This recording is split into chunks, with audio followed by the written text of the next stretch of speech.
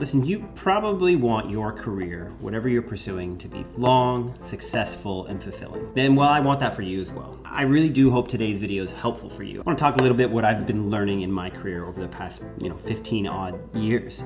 And to quote Michelangelo, who is arguably the greatest sculptor of all time, it's this. If people knew how hard I had to work to gain my mastery, it would not seem so wonderful at all. Michelangelo had a secret. It was that he worked hard. Now, he did have a basic level of talent, but that man worked so hard. And if you read the stories about him, there's so many times that clients bailed on him after he worked hundreds of hours, but he kept persevering.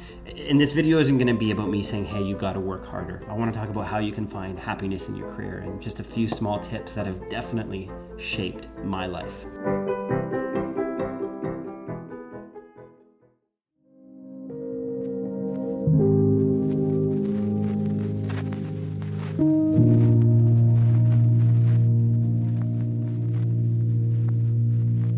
Spent a lot of time and a lot of energy in my career stressing about where I would be in my 30s when I was missing what was happening right in front of me in that moment. Quote someone else who's probably equally as smart as Michelangelo, people think it must be fun to be a super genius, but they don't realize how hard it is to put up with all the idiots in the world.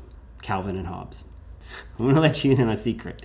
You're probably not a super genius. So stop blaming others. And that's not a guilt trip, it's actually a really empowering thought. You see, you get the chance to take control of your direction, your destination, your destiny. I will guarantee you this if you're any sort of artist or filmmaker or anyone at all who's trying to pursue a passion, you will not achieve it.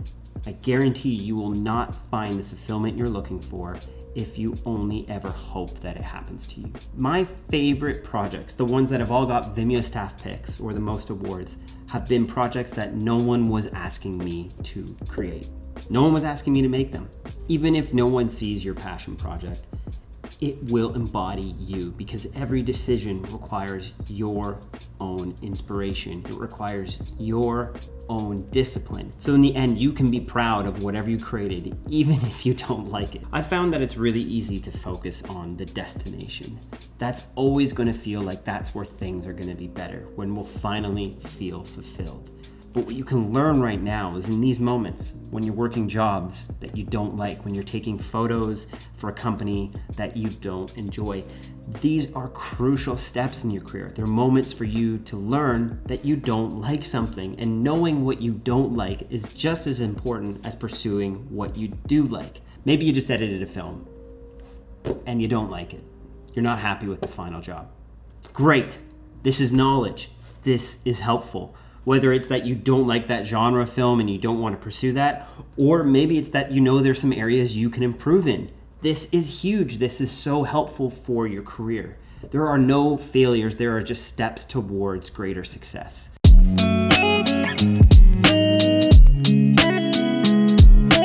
I keep looking at my career, whether I'm still in filmmaking or not, as something that I want to be doing when I'm 70 years old. So when there's some setbacks, when I get videos taken down off my YouTube, or there's other directors who are having better success in this moment in their directing careers than me, I'll remember that I'm going somewhere, that there's a journey that I can enjoy. And, and I know this too, that the destination, this idea of having made it, which I know I'm nowhere near, I actually don't think there's any way to actually ever make it. I don't think that there's a place that suddenly brings instantaneous happiness. But what I do know is this, that when I can align my schedule and my values, the things I care about, the things I'm passionate about.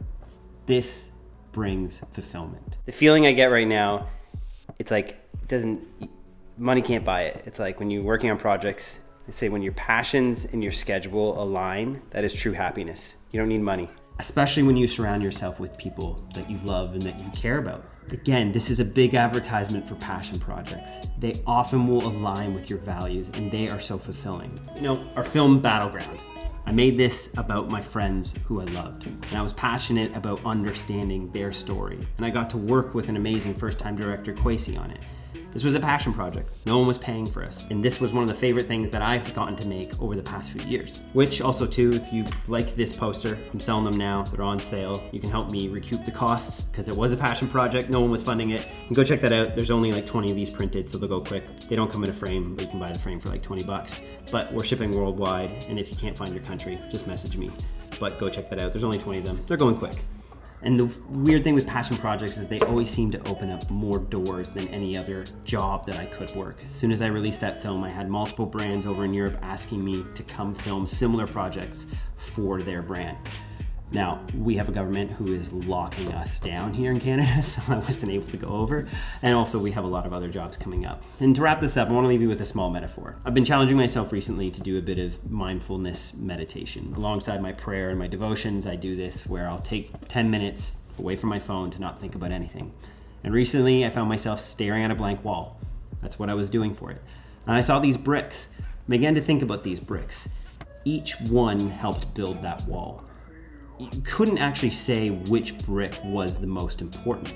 And this is what I kind of feel is like our career, our journey in life. Each moment, each job, each success, each failure is as important as the next one. It makes up the whole tapestry of your life as much as any other moment. There isn't just one moment that says, hey, now you're a success in life. It's a whole cacophony of different moments. Look that word up. The same could be said for a path that has interlocked bricks each brick that you lay down on that path is going to help you get to that final destination, wherever that is. And for me, I don't like to think that there is a place that I'm going to end on. I like to think that the destination is the journey. When I had a life coach, I told him when I was 24 years old that I wanted to have an Academy Award winning short documentary made by the time I was 27. And I'm 34 now, and that still hasn't happened. But I'm pursuing it. I'm making films. We have this whole academy now, Art of Documentary, and we're seeing people take steps towards their journey, and every moment is important. So there's been one thing that I've taken out of my career, and it's completely changed everything for me. It's given me a new perspective. And that's this hurry. I want to be a better filmmaker when I'm 70. I don't care about being the best filmmaker tomorrow. I want to enjoy this journey. And putting this weird pressure on myself to be that person tomorrow, to have to change everything, to feel like every project, every next film I'm working on is the thing that's gonna make it or break it for me. Ah, it just takes the fun out of this. It's no longer enjoyable. I wanna learn to enjoy every moment, every failure, every success, so that when I'm 70, I'm better and not bitter. So remember that you want to be better at 70. I'm, I'm, actually quoting one of my favorite communicators, Judah Smith. He got tattooed on his leg, and it's something that's really inspired me and something I'm trying to live by myself. But appreciate you guys watching this again. If you want to help support Battleground, go grab one of our posters right now. They're on sale. They're in my store. The link is below. There's only a few left. Uh, I printed a, just a limited copy of them. This one is going to my DP and there is no frame, but we will roll up the poster and mail it to you in a mailing tube. Uh, but yeah, appreciate you guys watching this one, and I'll see you on the next one. I hope this helped. See ya.